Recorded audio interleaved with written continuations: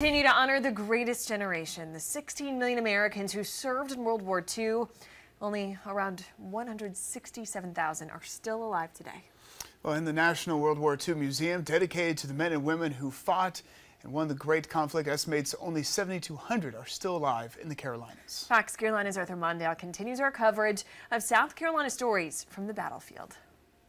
America had moved away from an isolationist attitude, and they were the men and women who secured our democracy for generations that followed.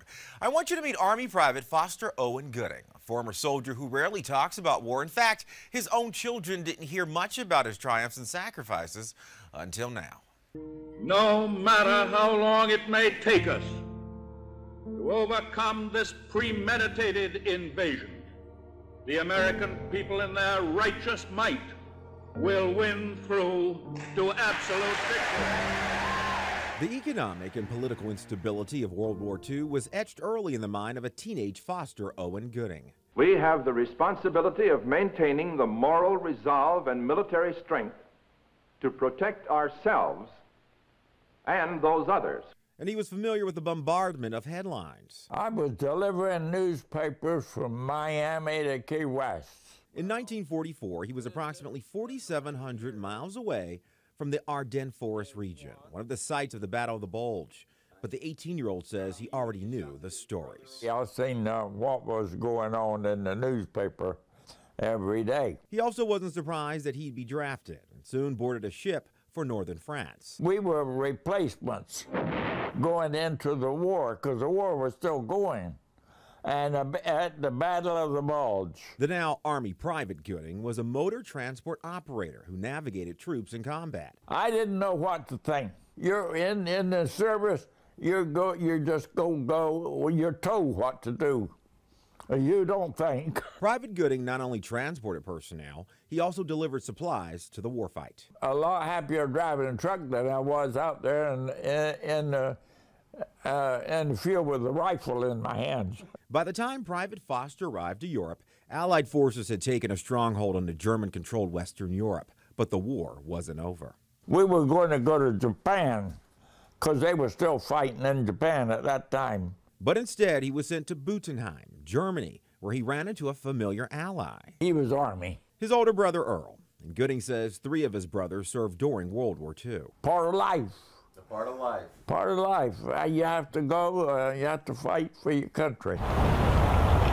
He was in Europe for almost a year before being transferred to work at the Pentagon as a staff driver, responsible for driving families of the fallen to Arlington National Cemetery.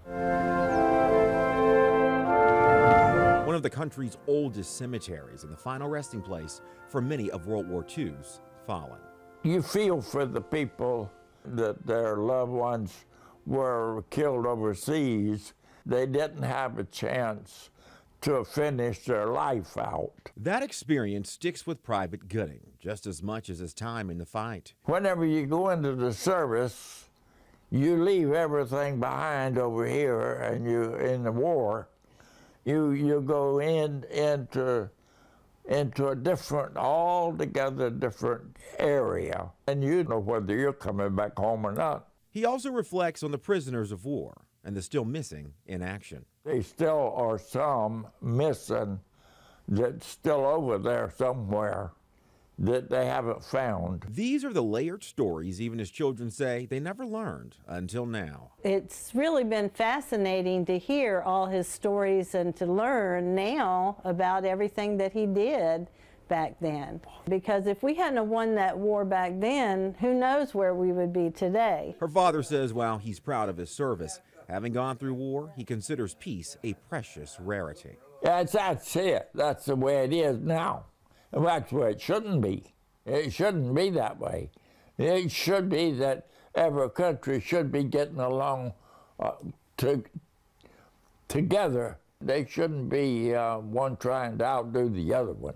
Now, the Defense POW and Missing in Action Accounting Agency estimates over 2,000 veterans from the Carolinas who served in World War II are still unaccounted for. The agency says the heroes are not forgotten and they're committed to the difficult task of locating, recovering, and identifying the service members who defended the Constitution. To learn more, just visit our website. Arthur Mondale, Fox Carolina News.